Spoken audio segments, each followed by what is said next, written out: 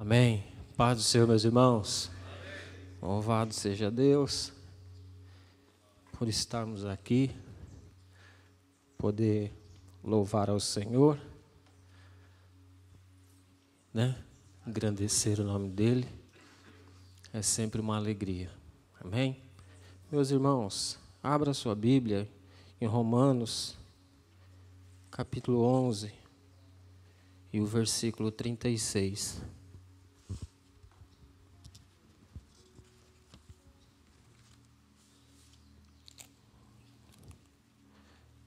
Meus irmãos, 11, Romanos 11 e o versículo 36. Uma alegria estar aqui né, com o pastor, com os irmãos. Agora, um aluno que já não está mais aqui dentro, mas a gente ainda continua sendo aluno, recuperado, servindo ao Senhor. E isso é sempre uma alegria poder estar aqui junto com os irmãos. O Jacques falou: tem que vir mais vezes. E é verdade, né? A gente não pode esquecer de onde a gente saiu, como Deus foi transformando, conduzindo. E é assim que Deus faz. Amém? Meus irmãos, Romanos 11, 36 diz assim: Porque dele e por meio dele e para ele são todas as coisas. A ele, pois, a glória eternamente. Amém. Glória a Deus. Meus irmãos, não dá para entender a segunda parte do versículo sem entender a primeira parte do versículo. A primeira metade do versículo produz a segunda metade do versículo. Ou seja, a segunda metade não existe sem a primeira metade. Quando eu estava lendo este versículo estudando, o Senhor ministrou ao meu coração uma balança. Tem uma balança aqui nesse texto. Sabe aquela balança antiga? Lembra aquela balança que dos dois lados? Você colocava o peso de um lado e do outro? Tem essa balança aqui nesse texto. E essa balança ela tem um nome. Enquanto eu lia o texto, essas coisas surgindo ao meu coração. Uma balança. E o nome dessa balança é a balança da glória.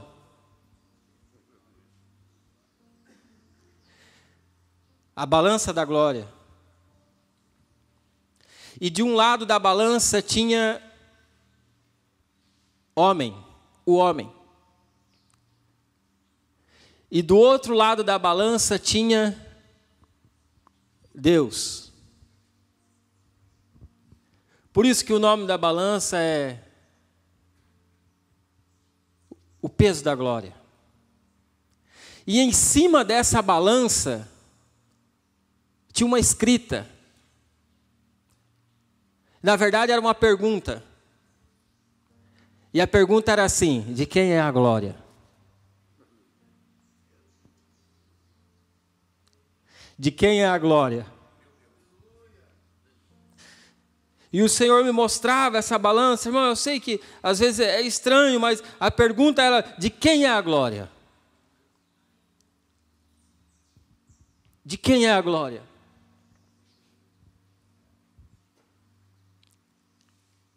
E a primeira coisa que eu tenho que entender, irmãos, é que Deus ele é eterno. Então nós vamos entender a primeira parte do versículo e depois a segunda parte do versículo. Deus ele é eterno.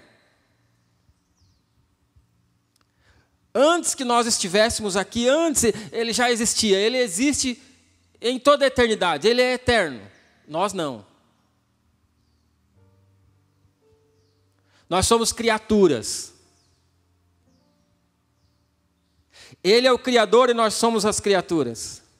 Passamos a ser filhos de Deus quando nós a, cremos em Cristo Jesus, como nosso suficiente Salvador. Agora, Deus, Ele é eterno, sendo eterno, Ele não falha. Nós, como criaturas ou filhos de Deus, nós somos criados por Ele, nós falhamos. Você falha, eu falho. A criatura falha, agora o Criador não falha, irmão. É por isso que a glória continua sendo dele, para ele, por meio dele, é dele. A glória é dele. Quando nós achamos que estamos, que está tudo tranquilo, que está tudo bem, agora nós, nós, eu tenho o controle das coisas, aí Deus, não, não, você não tem o controle, porque a glória continua sendo dele. A glória é dele. Pertence a ele. Então a primeira parte, porque dele, ou seja, tudo é dele. Isso significa que ele tem o direito. Ele tem o direito sobre a minha vida, tem o direito sobre a nossa casa, tem o direito sobre o nosso trabalho. Ele tem o direito dessas coisas porque ele é o Criador. Ele tem direito sobre essas coisas. Nós somos dele. Você não anda à deriva por aí achando que tem o controle. Eu lembro quando eu era criança, bem, e a gente andava no carrinho de rolemã e descia a ladeira sem freio. Então, a sua vida não é assim. Não é um, um, um, carrinho de rolemã descendo a ladeira sem freio, não. Deus controla a sua história. Ele controla, irmão. Ele tem o domínio sobre a sua vida, tem o domínio sobre a sua casa, tem o domínio de tudo, por causa dele, ou seja, ele é a fonte original das coisas. Nós somos dele. E aí, irmão, quando, quando eu li o texto, o Senhor falava ao meu coração assim: um plano. Um plano. E eu só ia anotando, e ele dizia: um projeto. E aí, liga as coisas agora: dele, o projeto, dele, o plano. E o Senhor ministrava ao meu coração essas coisas: olha, tem um plano, tem um projeto. E eu falava com o Senhor dizendo, mas como assim? Como que funciona? E o Espírito de Deus falava ao meu coração assim: o filho é teu, mas o projeto é meu. A casa é tua, mas o projeto é meu. A empresa é tua, mas o projeto é meu. Ele tem o domínio sobre essas coisas. Nós achamos que estamos no controle, nós achamos que estamos diante, é, dominando o projeto, mas não, o projeto é dele, o plano é dele, a execução é dele. Ele tem o domínio, está na tua mão. O Senhor está dizendo, está na tua mão, mas o projeto é meu. Você está com, com as coisas lá, mas é, o projeto é meu. O Senhor está falando para a gente aqui hoje. O filho é teu, mas o projeto é meu. A filha é tua, mas o projeto é meu. Você acha que está sobre o seu controle, o Senhor está dizendo: o plano é meu, a execução é minha.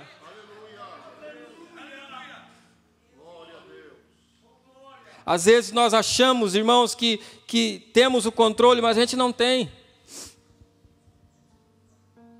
Ele é o Criador e Senhor independente, Ele não depende de mim. Irmão, às vezes, sabe aquela, aquela, aquela uva? É, eu sei, é, é, para algumas pessoas a loucura é assim mesmo, Jesus me, me usa assim mesmo. Sabe uma uva quando ela está bem cheinha? E aí ela vai para o lagar. E aí no lagar ela é esmagadinha. Jesus não vai usar a uva cheinha, não, irmão.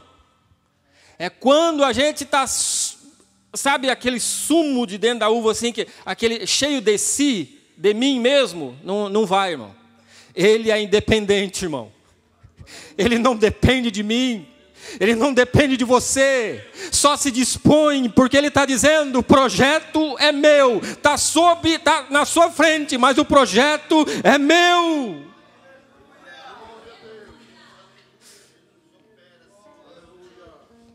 Deus é o proprietário, você é resultado da ação divina, é independente. Não precisa, irmão, de nós, não precisa. A gente é todo atrapalhado, irmão. A gente está fazendo, está tudo certo, daqui um pouco desanda tudo as coisas. Mas Ele é Senhor, Criador, Ele cuida de você, cuida da sua casa, cuida dos planos e os projetos, é Ele quem faz a execução das coisas. Dele, é o Pai que domina, Ele é o proprietário. Não tem nada aqui que a gente, na terra, em qualquer outro lugar que a gente for, que não pertença a Ele. Nosso trabalho, tudo, tudo é dele, irmão. Não tem um chão que você pisa que não pertence ao Senhor. É por isso que você pode, pode descansar, irmão. Já foi o tempo de a gente andar atribulado. Já foi o tempo. Já foi, já passou esse período aí. Às vezes eu vejo alguns irmãos, meu Deus, o que, que vai ser, o que, que isso, o que, que aquilo. O Senhor permanece no trono, o projeto é dele, o plano é dele. E aí você pensa assim, não, mas eh, parece que as coisas não estão andando como. Mas não é como eu quero, não é como você quer, irmão. É por isso que você é o plano nas mãos dele. Você é um projeto nas mãos dele.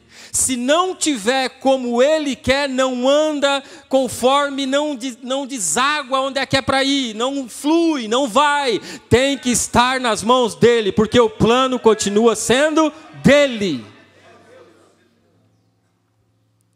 Por quê?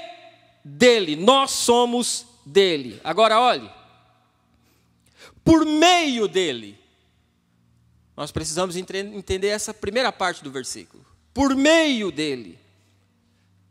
Veja que o plano é dele, o projeto é dele, você pertence a ele, a sua casa é dele, tudo é dele.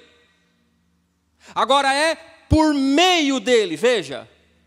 É dele, por meio dele. Esse por meio dele é o curso das coisas. Esse por meio dele é a providência.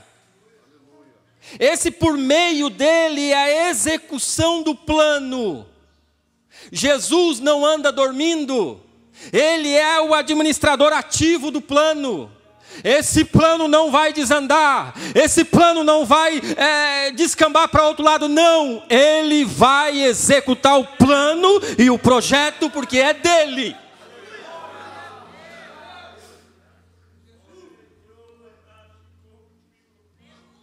Veja, o curso das coisas, o curso das coisas, o funcionamento é por meio dele. Por meio dele. A movimentação, a atividade soberana é por meio dele. Tudo que nós fazemos, irmão, tudo que, que tá, parece que está no nosso braço e aquela coisa toda não está. Não está, irmão. 40 anos já, irmão, eu sei que não está. Não está na nossa mão. Não está sob o nosso controle. Mas uma coisa eu sei: descansa no Senhor, porque o plano e o projeto ainda está de pé.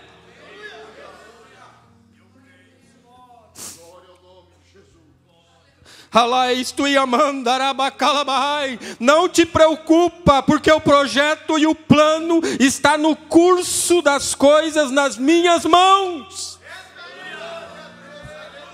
Aleluia. o desenvolvimento, o desenvolvimento desse plano, o desenvolvimento desse projeto, é por meio dele. É por meio dele. Depende só das mãos do Senhor. Só dele. Por quê? Porque o projeto é dele. Ninguém toca na sua filha, ninguém toca no seu filho, porque é projeto dele. Ninguém toca naquilo que é do Senhor, irmão, se está nas mãos dele. Escute o que eu estou dizendo. O projeto é dele, é por meio dele, ninguém toca. Sem qualquer assistência. Às vezes eu vejo as pessoas tentando ajudar a Deus. Né, irmão Daniel? Volta e meia a gente está querendo dar uma ajudinha para Deus. Não, eu, vou, eu acho que agora, agora eu vou Agora vai. Vou dar uma ajudinha. Vou dar uma ajudinha que eu acho que agora vai dar certo. Agora eu vou dirigir as coisas por um tempo aí, porque eu acho que agora ele não precisa da nossa assistência. A palavra de Deus diz: nele vivemos, nos movemos e existimos. Agora tem uma coisa que acontece nesse dele por meio dele, que é chamado de graça preventiva. O que, que é isso, irmão?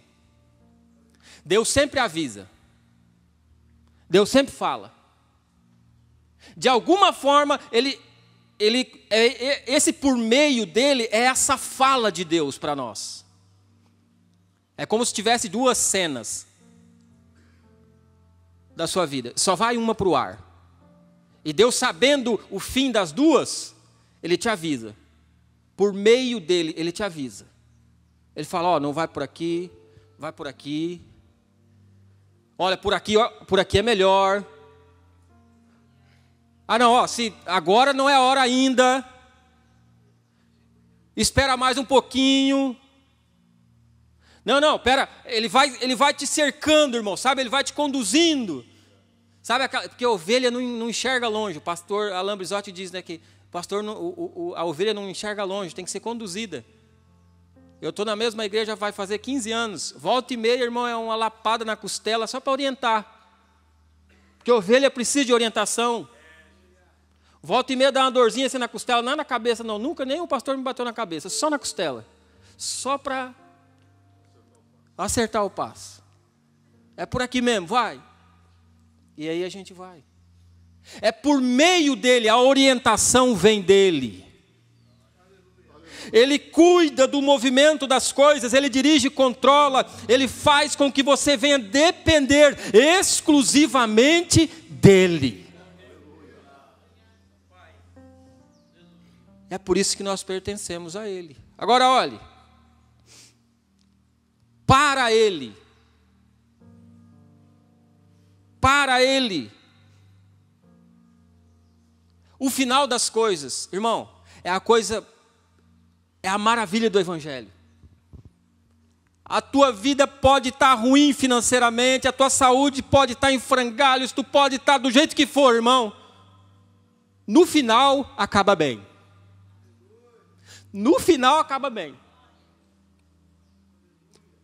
no final acaba bem. Para aqueles que são conduzidos pelo Senhor, para aqueles que estão em Cristo Jesus, protegidos por Ele, guardados na mão dele, no final acaba bem.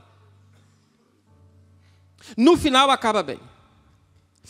Por que isso? Porque Ele é a causa final, é o fim último, o término, a conclusão.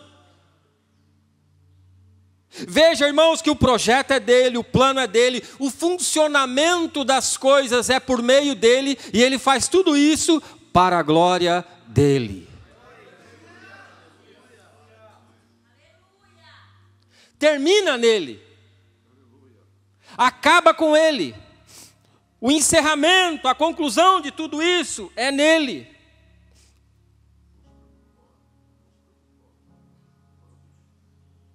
Ou seja, você às vezes você pensa assim, não, eu é, por isso que, que deu para ver a balança. Sabe a balança? De quem é a glória?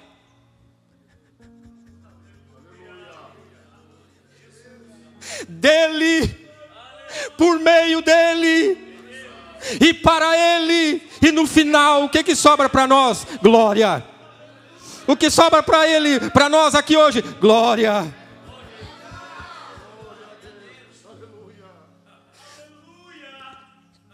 Eu já entendi, já, irmão. Não tem a nossa mão, não. Quando a gente está nele, já era. Aleluia. Lembra de, do Alex Gomes, há uns 10 anos atrás? Ele fez uma canção, acho que é Alex Gomes. E ele cantava: Se Deus tirar da tomada, não canta, não prega, não faz mais nada. Tem gente que pensa que faz e acontece, mas tudo é pela graça, ninguém merece. Irmão, se Deus tirar da tomada, se foi. Por isso que as coisas é para Ele, por meio dEle e para Ele. Quando você achar que as coisas não têm mais saída, Jesus aparece. Há uns dois anos atrás, eu decidi fazer uma viagem, minha esposa e as minhas filhas. Vai vendo, irmão, esse negócio. Você acha que você tem o controle. Você acha que você tem o domínio, mas não tem não. Mas no final tudo acaba bem.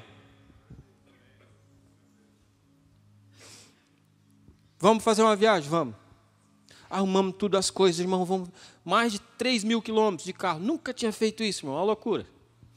Mas sabe aquelas coisas boas que você vai fazer em família, com as filhas? E lá vamos nós.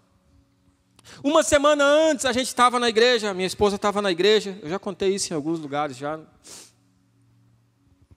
E aí um profeta lá disse assim: Olha, tem alguém aqui. Eu estava do lado de fora, na frente da, na, da igreja, assim, com a minha filha correndo para lá e para cá. E a minha esposa lá dentro ouvindo. Aí o profeta olhou e disse assim: Tem alguém aqui que está querendo viajar para a sua terra natal e o Senhor está dizendo: não vai, porque você vai ir e não vai voltar. Pensa. Quem que não treme?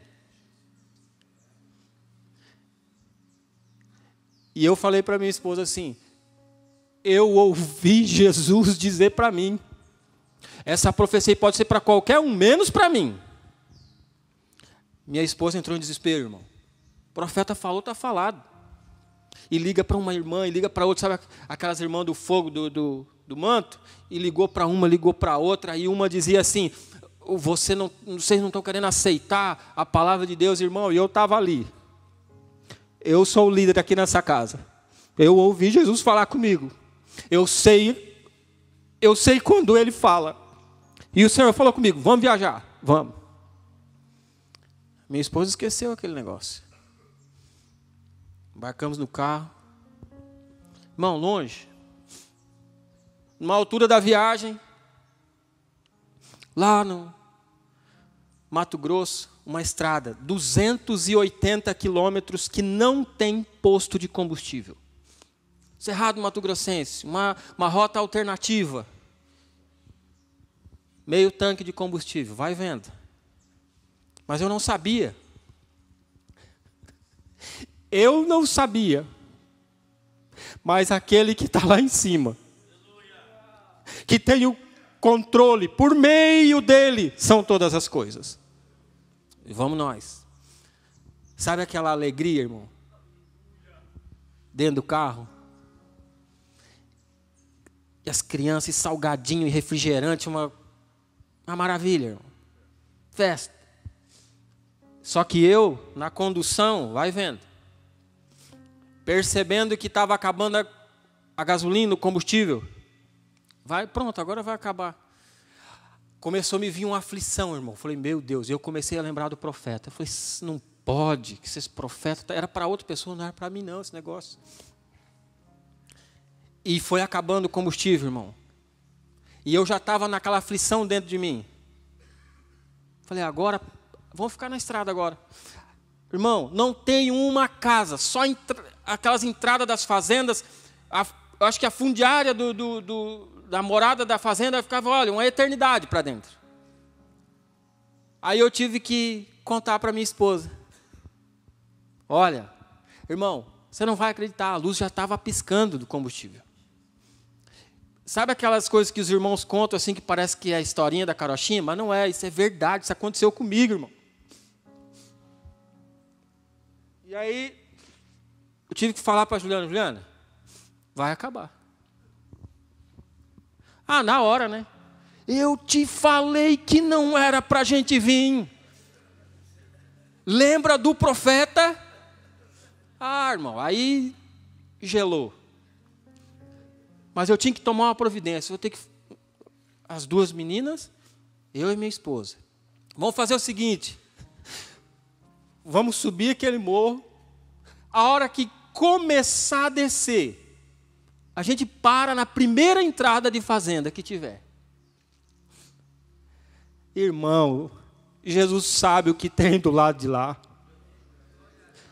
Quando começou a subir, na hora de descer, minha filha viu uma pequena casa assim. Falei, é aqui que nós vamos ficar. Uma chopana. Peguei o carro, estacionei ali. Tinha uma senhora sentada na frente.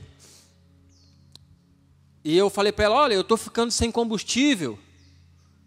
Eu acho que não vai dar para chegar, eu nem sei onde tem combustível. Ela deu uma gargalhada. Sabe aquelas gargalhadas de bruxa? Falei, pronto, sem combustível, no meio do nada, e agora me aparece. Ela riu e, e chamou um senhor que estava atrás da casa e disse assim: Vem cá, ajuda ele aí.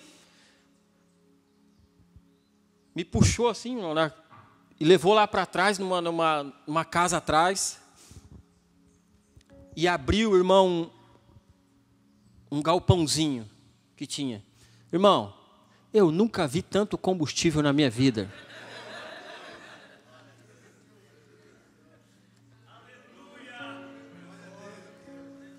Abastecemos o carro. Quando eu entrei no carro, Enquanto a minha esposa falava, ela falava assim, eu lembro hoje ainda, ela dizia assim, ó, Deus cuida de nós. Deus cuida de nós. O Espírito Santo falou ao meu coração dizendo assim: Eu sei o que vem depois. Antes de dobrar a curva, eu já estou. Antes de subir e descer, eu já estou do lado de lá. É por meio dele, para ele, todas as coisas. Não tenha a nossa mão quando você acha que está na direção, está no controle, está freando, indo e acelerando. O Senhor é poderoso para mudar a situação, Ele tem o controle.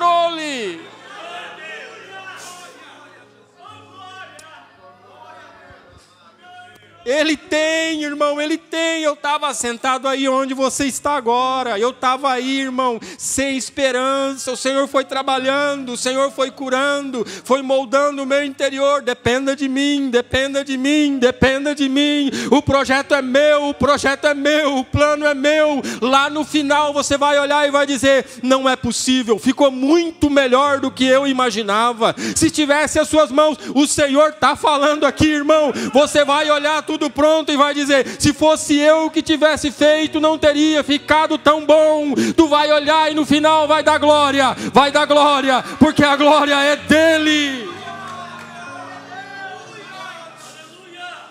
Louvado seja Deus. Louvado seja Deus. Pois a Ele a glória a Ele a glória. A Ele a glória. A glória não é nossa. Não tem a nossa mão. segunda parte do versículo. A ele, pois, a glória. Isso aqui, irmão, não é um não é um evento transitório. Não é um evento transitório. Aqui é como se Paulo estivesse num, num, num monte, num alto, observando a conclusão do projeto. É como se Paulo estivesse olhando lá de cima e se alegrando, dizendo: A Ele a glória. Ele está tendo uma explosão de admiração. Meu Deus, eu não sabia que ia ficar tão bom esse negócio. Eu não sabia que, que ele ia se recuperar de tal forma. Eu não sabia que ela ia retornar de tal forma. Mas a glória é Ele, o louvor é Ele, a adoração é Ele.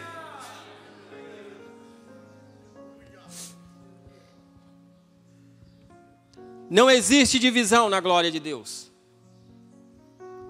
Não existe. Não é um evento transitório isso aqui, irmão. Quando o Senhor concluir, será uma alegria dentro de você que você vai ficar. É por isso que às vezes a gente está por aí, né, irmão? Às vezes a gente está lá ensinando, está chorando. Às vezes a gente está pregando em algum lugar, o outro está chorando também, as pessoas não entendem. Às vezes a gente está na igreja chorando também, está com algum problema. Não, irmão, não tem problema nenhum, não. É porque Ele, a quem muito é perdoado, muito é agradecido. É por isso, irmãos, a Ele a glória, a Ele o louvor, a Ele a adoração, não é transitório, não é por um momento, é uma glória de glória em glória, na eternidade, para Ele a glória. A Ele a glória. A origem, o curso das coisas e o fim delas a origem, o curso das coisas e o fim delas. Se nós estivermos em Cristo, tudo termina bem. Tudo termina bem. Tua vida financeira pode estar. Tá, tua saúde pode estar tá em fran... pode estar tá do jeito que for, irmão. Nele as coisas terminam bem. Lembra? É o movimento da palavra. Sai do que é ruim e vai para aquilo que é bom. O indivíduo era cego, se encontrou com Jesus, voltou a enxergar. Glória. O indivíduo era não andava, se encontrou com Jesus, passou a andar. Glória. O indivíduo era dependente químico, estava na rua, se encontrou com Jesus, a palavra mudou, a palavra transformou. Glória. A casa estava sem mantimento, estava faltando. Daqui um pouco Jesus entra com providência, porque por meio dele é a providência. Por meio dele é a providência. Por meio dele é a providência. No final é glória. Para nós só resta uma coisa: adorar a Ele, glorificar o nome dEle, porque Ele é o Senhor.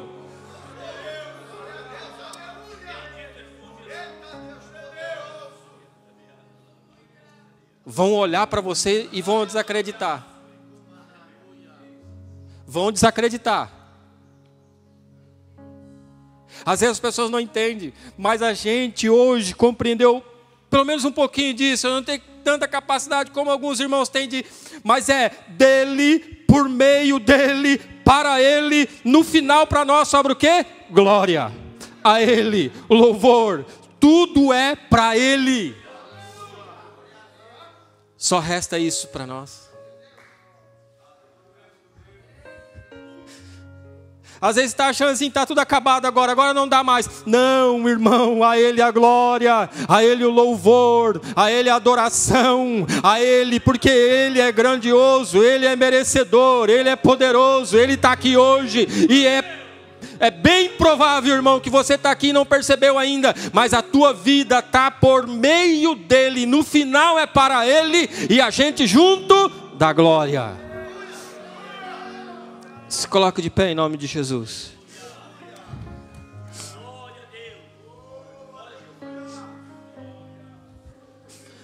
É a nossa dependência contínua. É a nossa dependência contínua.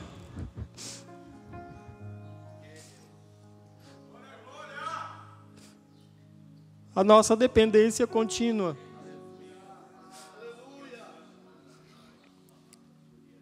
Nós dependemos dele. Talvez você está. Quer ver uma coisa? O seu coração aí está batendo, mas você não tem controle, não. Você não tem controle, não. É vontade dele. Seu coração está batendo porque é vontade dele. Vamos orar? Aleluia. Irmão, você não, não tem noção, irmão. Estava aí, ó. Estava aí, irmão, onde tu está agora? Não é para se engrandecer, não, não é nada, não. Jesus já tratou isso comigo, já muito bem, já, já. Ele já me colocou no lugar onde eu devo ficar. Uma uva amassadinha. Benção.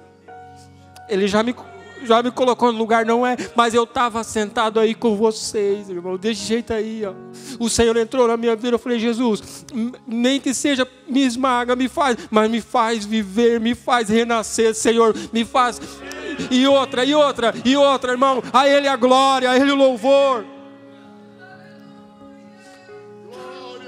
Aleluia. A Ele a glória, a Ele o louvor, porque é por meio dEle, para Ele, e no final a gente glorifica o nome dEle. na mão de alguns irrecuperável, não tem saída, não tem como, mas o Senhor é poderoso para transformar, porque nós estamos nas mãos dEle. Deus, louvado seja Deus. Senhor, nós te louvamos, Jesus. Te louvamos pela tua misericórdia sobre nós. Te louvamos pelo teu favor. Te louvamos pela administração da nossa vida, Senhor, porque nós não sabemos fazer, Senhor. Agora abençoa os teus filhos, quem está nos ouvindo agora. Abençoa todos, Senhor, pela tua palavra, pelo poder da tua palavra, porque é por meio de ti que todas as coisas acontecem, Senhor. Abençoa-nos, guarda-nos nas tuas mãos, em nome de Jesus. Amém.